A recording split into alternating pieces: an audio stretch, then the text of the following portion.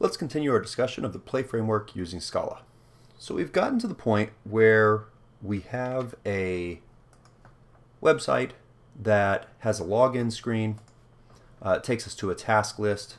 Our login screen uses a post request and sends some information through. That then does a redirect. So our login page does a post to this validate login post. We parse the body we find a username and a password, and then we immediately redirect them to the task list. Okay. Now our task list currently just shows some tasks that are hard-coded here. There's a few things that are missing for this to be a fully functioning application, and one of the first things we need to do is add a model. Okay, we can't really push this much further. For example, we can't have usernames with passwords that are validated until we have a list of usernames and passwords someplace. Similarly, we couldn't give them the appropriate tasks unless we're storing that somewhere. So at this point, we kind of need to take a, a break from writing the normal web stuff and go into our models package. And I'm going to come in here and I'm going to create, now note, the way I'm going to do this is not necessarily the ideal way to, to create a model, but given what we know right now, we have to get something in place so we can write the rest of the web app. So I'm going to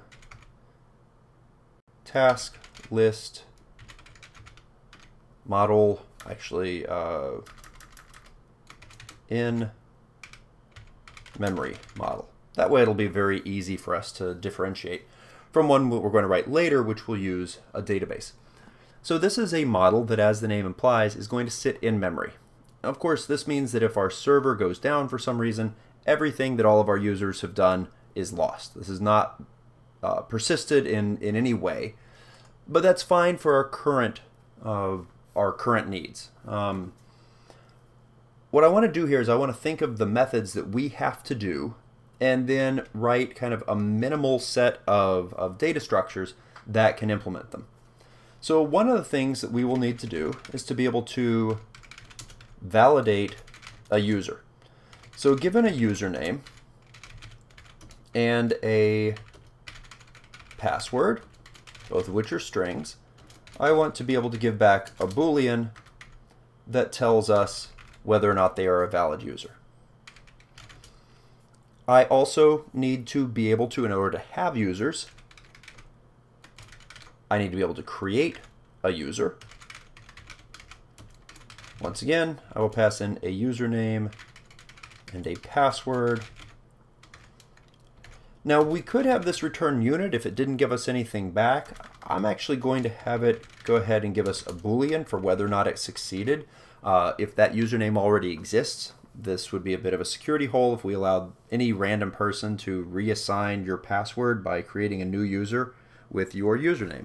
So this is going to do a check to see if the user exists and if so it'll return false and if not it will create that user and return true.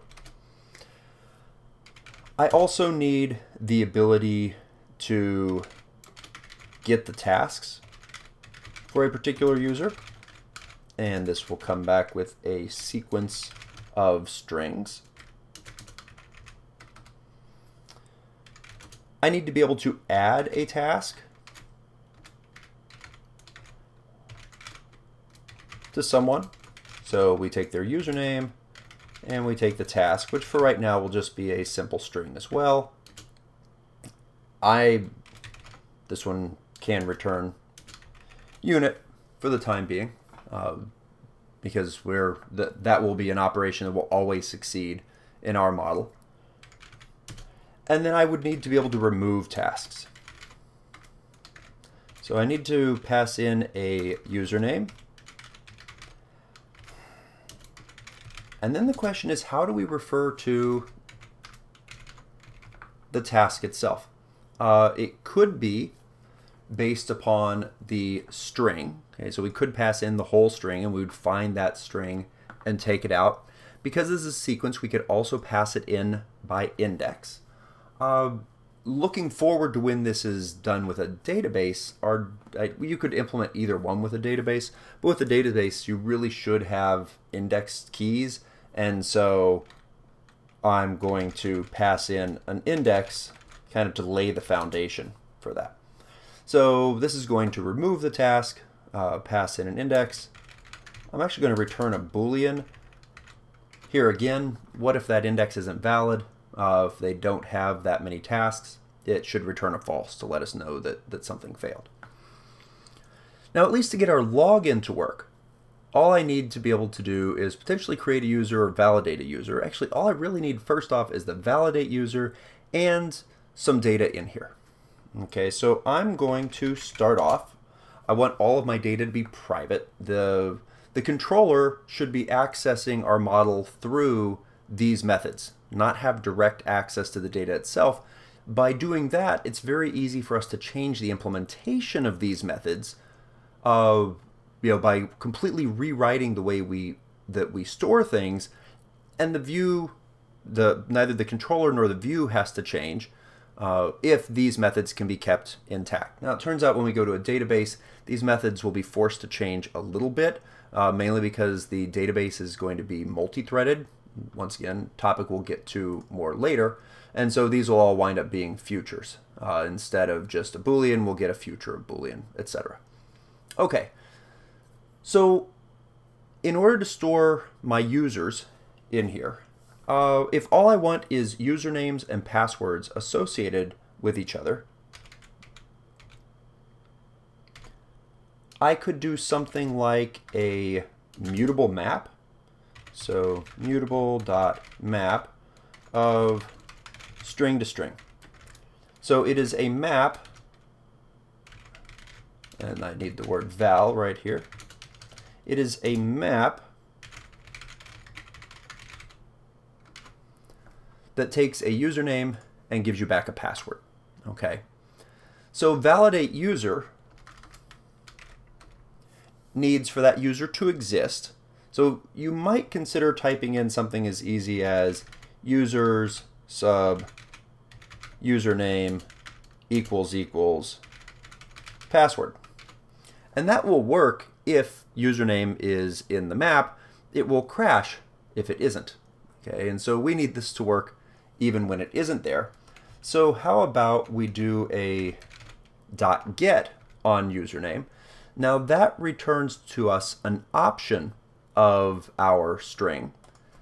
And so then I'm going to map that to, because if it has a value, it will be a password. So I want to either map that to checking if the password is a match. I put an underscore equals equals. You can't see it because of the red lines. And right now, because that's because it's a type match, because I have an option of Boolean instead of a Boolean. Get or else false. Because if users doesn't contain that username, clearly they can't be validated, and we should give back false. So if the user doesn't exist, we give back false. If they do exist, we do a check to see if the password passed in matches what is stored in this mutable map. Okay.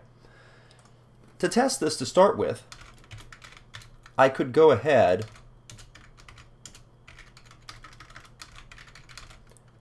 and add one value into here. So now we can come back to our controller. Right now we always redirect this. But instead I could say something like if our task list in memory dot validate user of that username and password. If that is true, then we do that redirect. Else, we need to redirect them back to the login page, which we happen to have code doing that right there. So now we have a login that will check to see if the user that has uh, what is typed in is accurate. Let's try this. So I'm going to go back to our login page. I'll refresh. It will do a compile again.